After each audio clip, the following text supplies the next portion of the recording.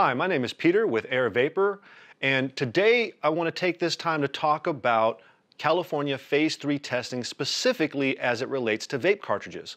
Phase 3 testing is a California initiative that took effect on January 1st, 2019 that requires all vape cartridges filled with plant-based essential oils to be tested for the presence of heavy metals. So today we're going to take a little bit of time to talk about exactly what phase 3 testing is, why some vape cartridges are passing and others are not, and what exactly we here at Air Vapor are doing to help address this issue. Let's dive in.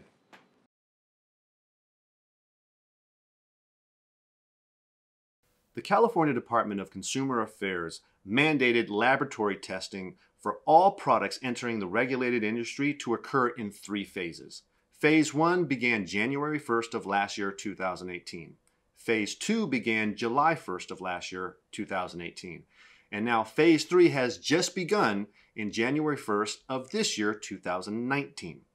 Part of the phase three testing requirements state that all new products must be tested in their primary packaging for the presence of heavy metals.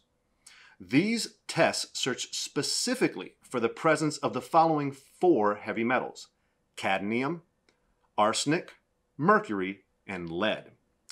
Phase 3 testing defines specific limits for the presence of each of these heavy metals, and if a product is found to contain any of these metals in a concentration over the allowed limit, then that product will not be allowed for sale in California. This is a very big deal for vape cartridge producers, especially since most of the vape cartridges on the market contain metal.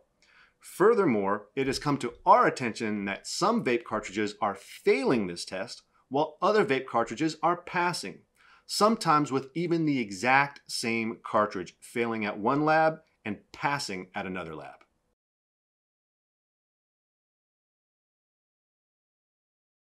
After speaking with clients, factories, and testing laboratories to conduct our own research, we here at Air Vapor have determined two major factors contributing to the variation in phase 3 test results for vape cartridges in California. Contributing factor number one is that there are no standardized testing procedures. There is no standard procedure that each lab must follow when conducting phase three testing for heavy metals, which leads to each laboratory giving different results, sometimes for the exact same vape cartridge.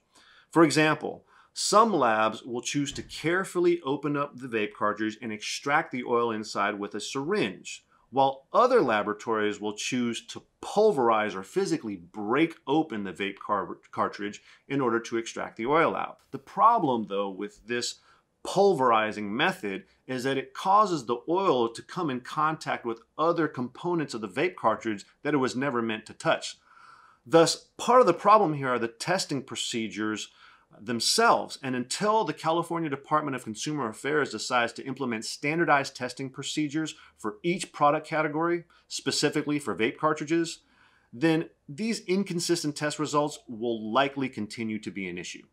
Now, the second major contributing factor we have found is the use of ROHS brass. Almost all vape cartridges on the market from reliable, recognized manufacturers contain ROHS brass.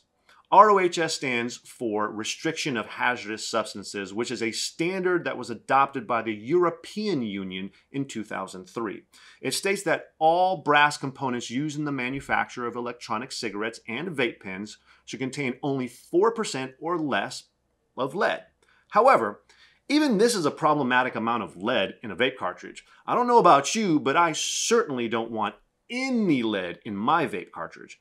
Furthermore, the California Phase 3 testing limit for lead in vape cartridge products is 0.5 ppm, parts per million, which is far below the 4% that is, uh, of lead that is allowed in ROHS brass. What this basically means is that if oil touches any exposed brass inside of a vape cartridge, then it may very well fail phase 3 testing.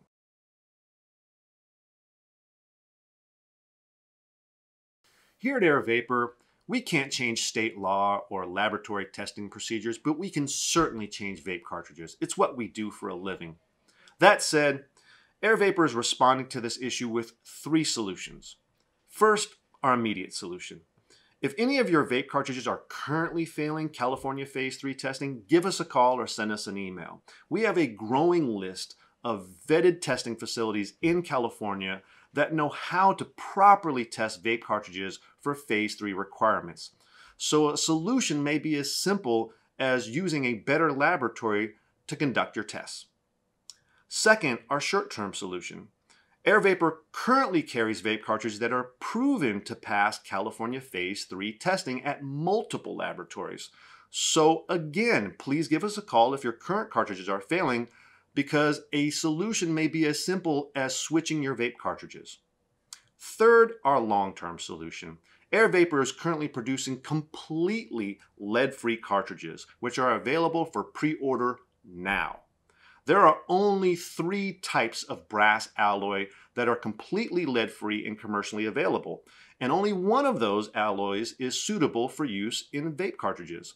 We have sourced that lead-free alloy, and we are actively using it to produce our next generation of vape cartridges. Please give us a call, find out more, and place your pre-orders for lead-free vape cartridges now. Here at Air Vapor, we consider ourselves stewards of the vape industry. And since many of us at the company, including myself, are not only vape users but family oriented, we are absolutely determined to provide information, service, and products that support our very personal values. Please call or email us with any questions you may have or drop a comment in the section below. We want to create a lively discussion around this topic since it is very important and affects many people's health and safety. Thanks for watching.